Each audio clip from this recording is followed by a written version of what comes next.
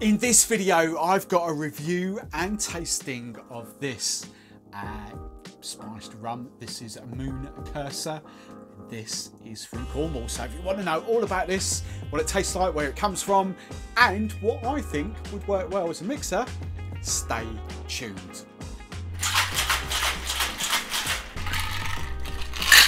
Hey drinks fans, my name is Steve the Barman and I hope these videos help you drink, serve and enjoy your favourite drinks. Spiced rum time, it's Sunday. Yeah, can't wait to crack this one open, mainly because it's Cornish. And before I get into it though, I need to do a big shout out to the Spiced Rum Club on Facebook.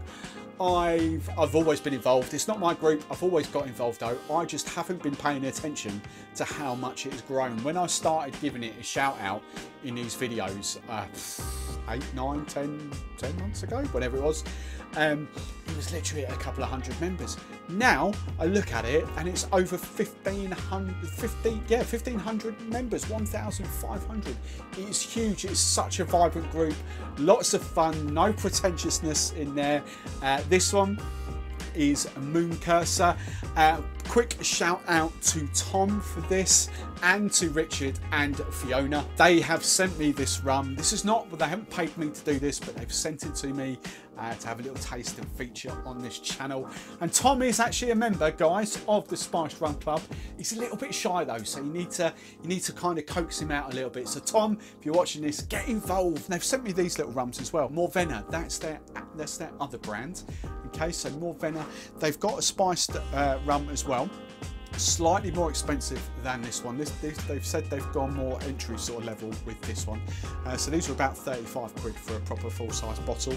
But if I read, if I remember rightly, something about apricot. Yeah, this one. It's a spiced rum using natural spices, hints of lemongrass, grass, apricot, and saffron.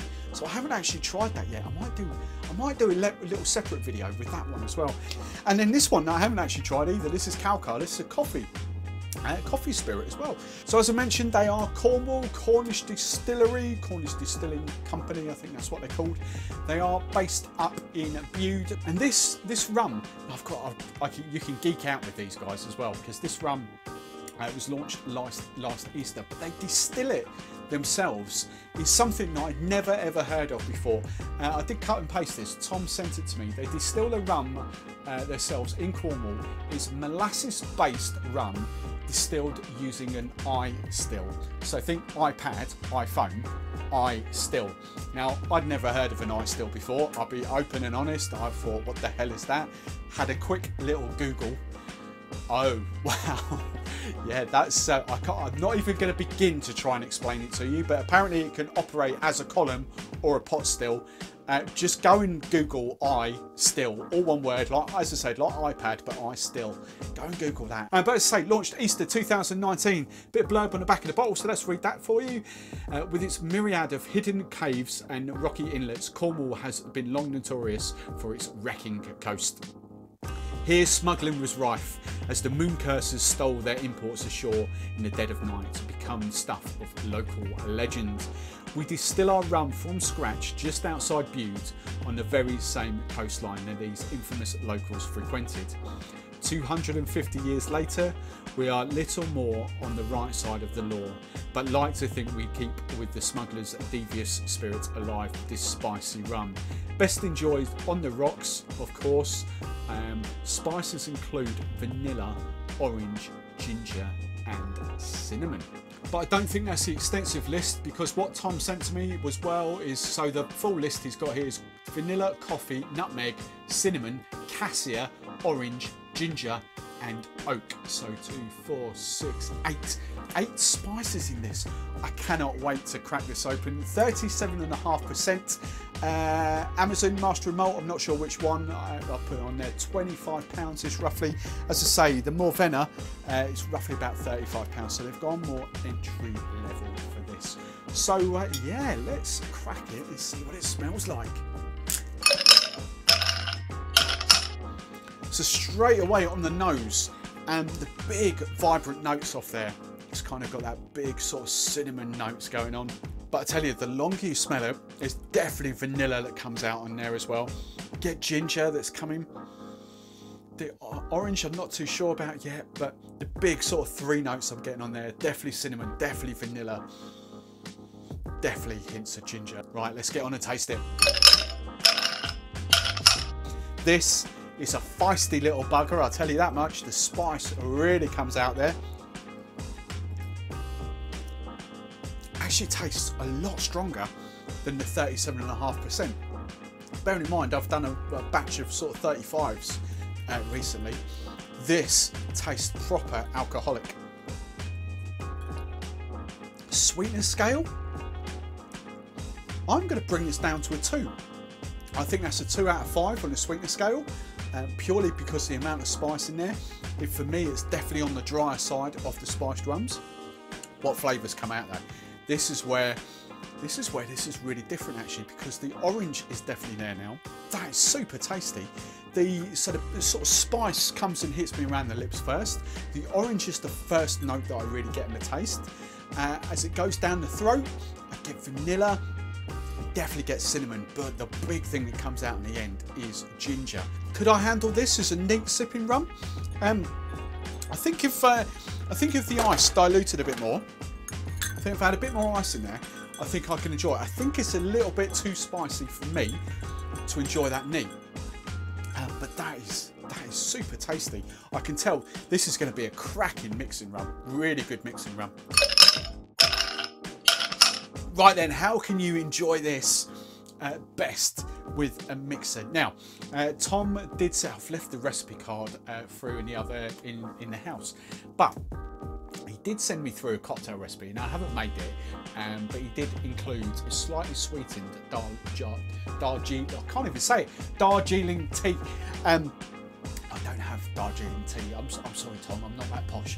Uh, I don't drink Earl Grey or anything like that. When I go out next, uh, I will grab some and I'll make that for you. But what I found with this, this is a very much your sort of traditional spiced rum mixer kind of combo. So first up, Coca-Cola. Yes, yes, yes, yes. Uh, great uh, rum, spiced rum and Coke. Next one's up was the Fever Tree Spiced Orange Ginger Ale. Again, amazing, absolutely amazing. Really, really like that together. In fact, just slightly pipping uh, the ginger beer. This is a very good rum and ginger beer rum. Um, very, very good.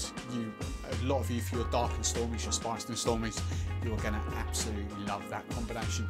For me, didn't work too well with the fruity stuff. So the pineapple soda, um, the tropical soda, didn't work too well with those. But the last thing I am going to leave you with that works very, very well, I've got another one of those, was Cawston's Press Apple and Ginger. Those two, again, just a match made in heaven. That was unbelievably good. Uh, really, really like that. It's probably how I'll finish that bottle off, to be honest, with the apple and ginger. Really, really like that. Now, as I've started doing recently as well, uh, we've got a couple of cocktails on the go here. So the first one up, we always do the daiquiri challenge now.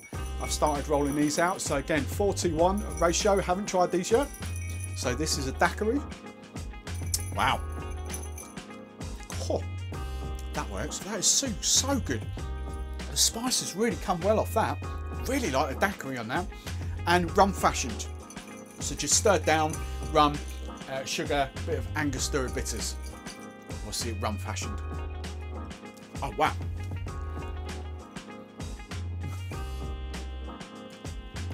Wow, that's getting finished straight away. oh, that is so good. Oh, definitely prefer the rum fashioned. 100%. I tell you, it's that little touch of sugar. I haven't added that much. Just a little dash, a little dash of sugar. Those just lifts those flavours up. That is a stonking rum fashion. Well done. Uh, Richard, Fiona, Tom, well done. I'm definitely coming down because I want to check out this iStill. That's been this video. Oh, I think I... Oh, yeah, that. Let's get the Coke out as well. I tell you, that just works so well. That is really good. uh, big, bold, vibrant sort of spices on there. Nothing subtle at all. There's nothing shy and retiring about that. Um, yeah, definitely, definitely recommend that. That's that's If you like this video, give me a thumbs up and give me a like below. If you like me and want to watch more of my stuff, make sure you hit that subscribe button, ring the bell to get notified every time I set a new video live. And um, I've just launched um, my sort of uh, or sort of relaunched I should say my Patreon uh, membership page now. So go and check that out. Lots of uh, three different tiers lots of different membership options on there for you. Uh, lots of benefits for me to give back I just as I say at the top. I just want to help you drink soda and enjoy your favourite spirits. Cheers guys. That's oh, that's amazing. Cheers